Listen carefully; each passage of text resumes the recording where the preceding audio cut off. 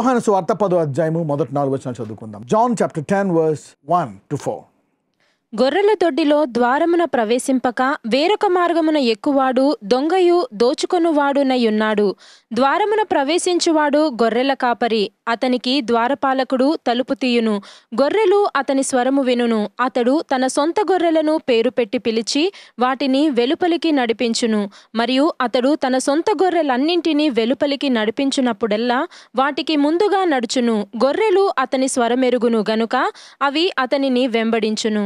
Verily I say unto you, he that entereth not by the door. You see that now? So there is also a door. So ద్వారము. Okay మనము పరలోకపు యొక్క ద్వారాలు మనం చూసాం. అయితే ఈ భూమి మీద కూడా ఒక ద్వారము నడిచింది.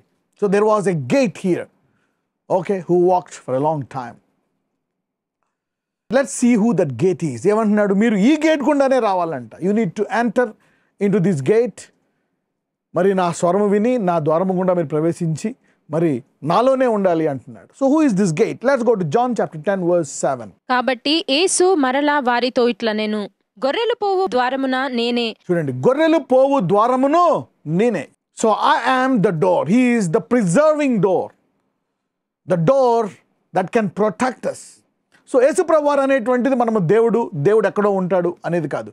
ఇట్ ఈజ్ ఎ డోర్ అది ఒక లోకానికి ఈ భూమి మీదే ఒక కొత్త ప్రపంచానికి ఒక కొత్త రక్షణ మార్గానికి ఒక కొత్త కాపుదలకి అదొక ద్వారం ఇట్స్ లైక్ ఏ హౌస్ చూడండి మనం. అమ్మ ఇంటికి వెళ్ళిపోవాలి ఇంటికి వెళ్ళి ఒకసారి వెళ్ళిపోతే అమ్మాయి రెస్ట్ తీసుకోవచ్చు. ఇంటికి వచ్చేస్తే మనకి యూ విల్ ఫీల్ లైక్ ఆ ఇక కష్టాలన్నీ పోయినట్టు. ఎన్ని నొప్పులు ఉన్నా ఎన్ని బాధలు ఉన్నా ఏమన్నా ఇంటికి వచ్చేస్తే people feel like okay things will settle down so being in home is like safe so Jesus is the door ఈ భూమి మీద ఉన్నా కానీ హీజ్ అ డోర్ ఈ భూమి మీద నువ్వు వేసి నమ్ముకుంటే ఒక ద్వారం అంట. చూద్దాం let's go to verse one గొర్రెల దొడ్డిలో ద్వారమున ప్రవేశింపక వేరొక మార్గమున ఎక్కువాడు దొంగయు దోచుకొనువాడునై ఉన్నాడు. So this door will protect you and you will be safe so మన ప్రాణమును ఆయన కాపాడతాడు. మనం ఆహారం తినేలా ఆరోగ్యంగా ఉండేలా మనకు కృపనిస్తాడు. అఫ్ కోర్స్ కొంచెం బాగు చేస్తాడు తల్లి బిడ్డను కొట్టాడు కొడతాడు కానీ he will protect us he's a door here on this earth let's read verse two ద్వారమున ప్రవేశించువాడు గొర్రెల కాపరి. అతనికి ద్వారపాలకుడు తలుపు తీయును. గొర్రెలు అతని స్వరము వినును. అతడు తన సొంత గొర్రెలను పేరు పెట్టి పిలిచి వాటిని వెలుపలికి నడిపించును. మరియు అతడు తన సొంత గొర్రెలన్నింటినీ వెలుపలికి నడిపించునప్పుడెల్లా వాటికి ముందుగా నడుచును. గొర్రెలు అతని స్వరమెరుగును గనుక అవి అతనిని వెంబడించును. Every sheep is connected to door by the voice ఇక్కడ ఏసే ద్వారం అంటే Jesus I am the door so you can connect to the door by the voice ఎవరైతే ఈ వాక్యాన్ని విన్ని అర్థం చేసుకుంటున్నారో చాలామంది అంటారు ఏంటి వాక్యం? అంటున్నారు. ఇది this is life this is God's voice the creator's voice this is the most powerful voice ఈ స్వరం నుంచే సమస్తము వచ్చాయి. మరి ఆయన ఒక ద్వారం అంటే యేసుప్రభు ఆ ద్వారానికి గొర్రెకి కనెక్షన్ ఏంటంటే వాయిస్ ఎవరైతే ఈ వాక్యం విన్నారో మీరు ఆల్రెడీ ఈ ద్వారంలో ఉన్నారు ఈ ద్వారం గుండా ప్రవేశించి మరి సురక్షితమైనటువంటి ప్రదేశంలో మీరు ఉన్నారు ఈ భూమి మీద కూడా.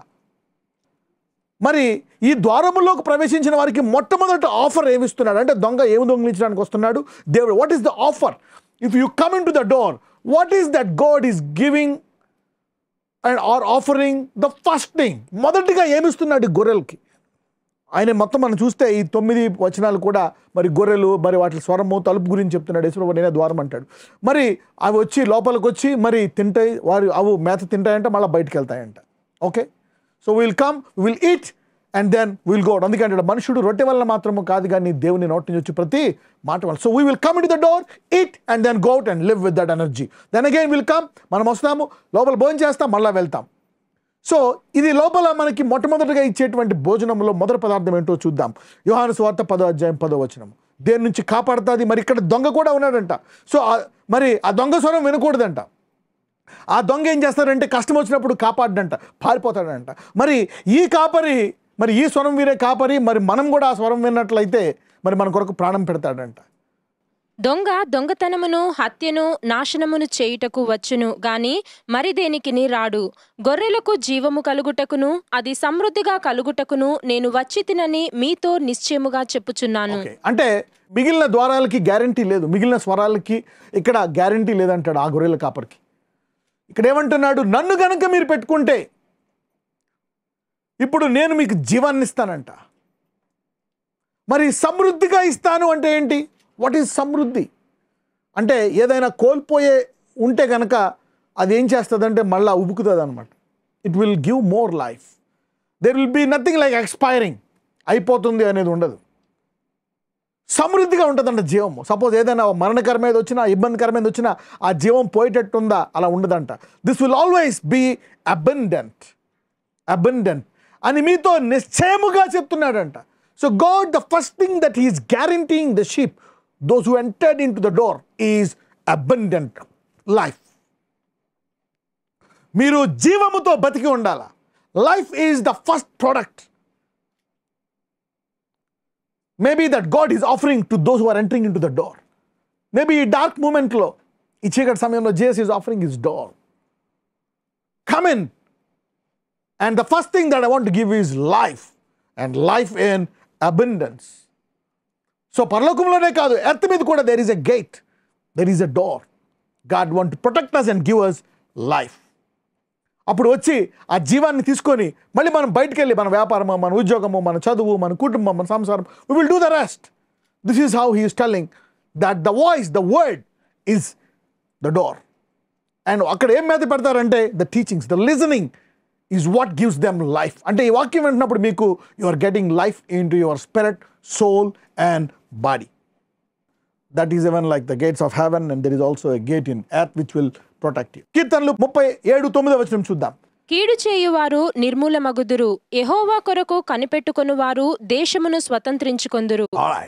ఫైనల్గా ఏం చెప్తున్నారంటే ఎవరైతే వెయిట్ చేస్తారో they will inherit the earth ఈ భూమి మీద ఉంటారంట.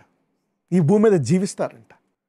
If you are waiting on God you will inherit you will remain in this earth inherit the earth మరి భూమి మీద దెర్ ఇస్ ఎ డెత్ ఈ భూమి మీద యాక్సిడెంట్లు ఉన్నాయి. మరి భూమి మీద ఇప్పుడు ఎండ దెబ్బలు ఉన్నాయి. అంతకుముందు చాలా ఉన్నాయి. ఈ భూమి మీద క్యాన్సర్ ఉంది. సో ప్లేగ్ ఉంది డెత్ ఉంది. సో దొంగలు ఉన్నారు. చాలా ఉన్నాయి. యాక్సిడెంట్స్ ఉన్నాయి. You don't know what's happening so you know faith will make you remain ఈ భూమి మీద ఉండకుండా వెళ్ళిపోతామో లేదు. అందుకే నేడుండి రేపు వెళ్ళిపోవు. మరి జీవం అనొద్దు. అందుకే యేసుని అంగీకరించు.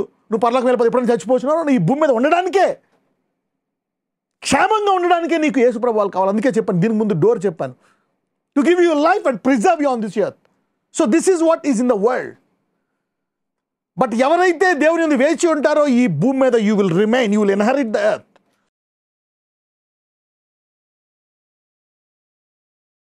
నజరడనేసే ఐదుగో ప్రభావ ఎవరెవరు దేని నుంచి బాధపడుతున్నారో ఈరోజు దాని నుంచి వేరుపరచండి. Separate them today if they have fear వారికి భయపడుతున్నారా? విశ్వాసాన్ని ఇచ్చి భయాన్ని వేరు చేయండి నాయన. యా ఒంటరిగా ఉన్నారా? ఆ ఏకాంగులు సంసారాలుగా చేసి పిల్లల్నిచ్చి ఆ ఒంటరితనాన్ని పిల్లలతనాన్ని వేరు చేయండి. You can separate the word of God quick and powerful separate anything and glory comes out of it everything belongs to you అన్ని నీలో ఉన్నాయి. అయ్యా ఈ వాక్యం ప్రతి ఒక్కరిని వారి బలహీనతల నుండి వారి బాధల నుండి కసల నుండి వారిని వేరుపరిచి వారి ద్వారా నీవు నామాన్ని మహిమపరచుకోమని. నా జడనేసామని ప్రార్థిస్తున్నాము తండ్రి. ఏమే